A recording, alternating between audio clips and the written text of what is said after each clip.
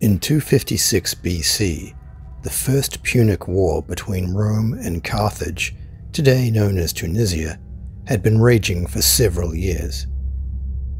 The war was fought primarily on the island of Sicily and its surrounding waters, and was a bloody and bitter conflict with tremendous losses on both sides. After defeating the Carthaginian fleet in the Battle of Cape Ecnomus, the Roman statesman and general, Marcus Atilius Regulus, took an invasion force to North Africa in an attempt to quash the Carthaginians on their own soil. However, it was during an attempt to cross the Bagradus River en route to Carthage that Regulus and his invasion force encountered a gigantic serpent unlike anything they had ever dreamed of. The creature rose up from the reeds to a great height and glared at them malevolently, stopping them dead in their tracks. Perturbed by the sight of this menacing creature, Regulus made the decision to take his forces further down the river in an attempt to cross unhindered by this tremendous beast. However, upon choosing an alternate location to cross, the snake suddenly emerged from the water and snatched one of his soldiers from the riverbank, crushing him in its powerful jaws. This happened several more times before Regulus became enraged at his inability to make progress and ordered that the ballistae be brought forward to bombard the creature. They launched salvo after salvo of rocks at the snake until it finally succumbed to the onslaught and died on the riverbank. Some accounts describe the creature as having scales the size of shields, which made it impervious to javelins and arrows, and a poisonous breath that drove soldiers mad on inhaling it. Afterwards, the soldiers skinned the colossal creature, which was said to measure 120 feet in length. The skin and the Leviathan's massive skull were taken back to Rome as trophies.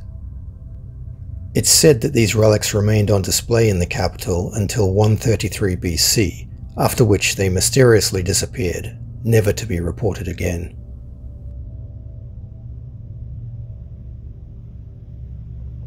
In his 1953 book, Exploration Fawcett, the celebrated explorer Lieutenant Colonel Percy Fawcett wrote of an encounter with a gigantic anaconda while leading an expedition in Brazil's Acre state in 1907.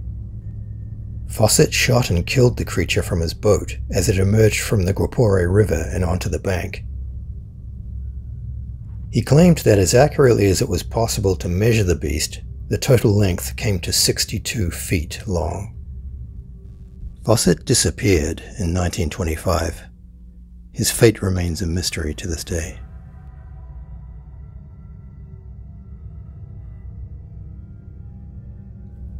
Colonel Remy van Lierde was an ace fighter pilot in the Belgian Army and the British Royal Air Force during World War II.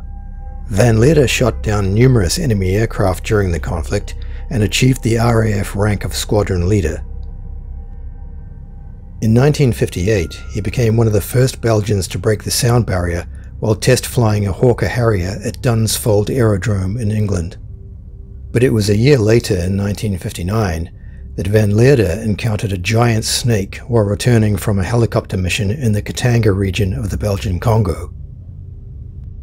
A passenger on board had a camera, so Van Lierde made several passes over the creature to allow him to take a picture of the huge beast.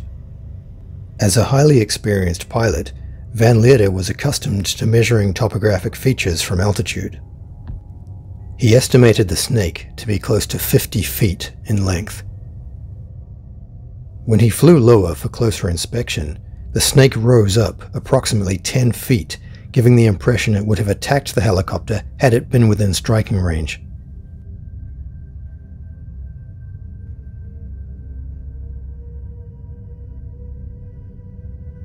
Van Lierde stated, quote, It could have easily eaten up a man.